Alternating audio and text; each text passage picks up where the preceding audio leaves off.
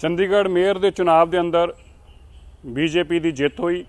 ਮੈਂ ਇਹਦੇ ਵਾਸਤੇ ਮਨੋਜ ਕੁਮਾਰ ਨੂੰ ਬਹੁਤ-ਬਹੁਤ ਵਧਾਈ ਦਿੰਦਾ। ਚੰਡੀਗੜ੍ਹ ਦੇ ਜਿਹੜੇ ਨਵੇਂ ਮੇਅਰ ਬਣੇ ਨੇ ਔਰ ਜਿਹੜੇ ਆਮ ਆਦਮੀ ਪਾਰਟੀ ਔਰ ਕਾਂਗਰਸ ਦੇ ਲੋਕ ਭੁਲੇਖੇ ਖਾਈ ਖਲੋਤੇ ਸੀਗੇ ਕਿ ਜਿਹੜੇ ਈਡੀ ਔਰ ਸੀਬੀਆਈ ਦੇ ਕੇਸਾਂ ਵਾਲੇ ਲੋਕ ਇਕੱਠੇ ਹੋ ਜਾਣਗੇ, ਦੇਸ਼ ਨੂੰ ਲੁੱਟਣ ਵਾਲੇ ਲੋਕ ਇਕੱਠੇ ਹੋ ਜਾਣਗੇ, ਜਿਨ੍ਹਾਂ ਨੂੰ ਸੀਬੀਆਈ ਈਡੀ ਲੱਭਦੀ ਫਿਰਦੀ ਉਹ ਇਕੱਠੇ ਹੋ ਜਾਣਗੇ ਤੇ ਉਹ ਬੀਜੇਪੀ ਨੂੰ ਚੰਡੀਗੜ੍ਹ 'ਚ ਹਰਾ ਦੇਣਗੇ, ਉਹਨਾਂ ਦਾ ਭੁਲੇਖਾ ਇਹ ਦੂਰ ਹੋ ਗਿਆ।